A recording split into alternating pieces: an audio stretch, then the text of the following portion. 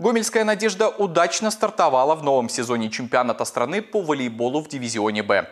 Первые игры прошли против Минского «Аргуора».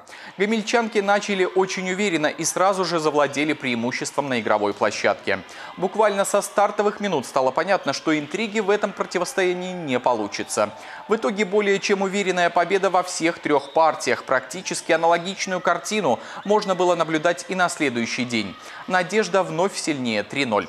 Второй тур команда проведет на выезде 27 и 28 октября. Соперником будет Барановичский «Атлант».